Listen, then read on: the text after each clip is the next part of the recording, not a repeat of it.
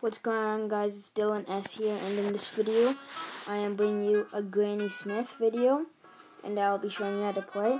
It is by Mediocre Games. It is free and 4 plus on the App Store. Um, so I'm just going to press play and go to level 1.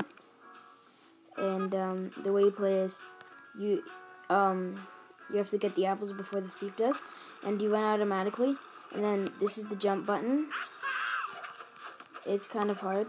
And then this is the button to like hit him and stuff. And I find it hard sometimes. And it is quite fun also.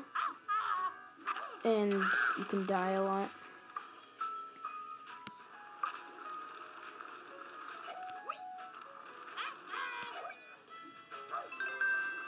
So I think I got the hang of it, kind of.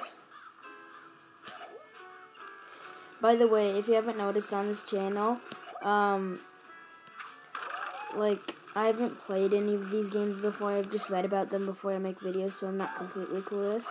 But I leave some clues out of my mind so that it can be entertaining for the video and for myself. So, I think I'm okay at this game right now. Not as good as other people would be. And yeah, so we cleared the level. We got all three apples. We got a pretty decent amount of points and coins. So yeah, that's it for this video. Thank you all for watching. If you enjoyed, subscribe.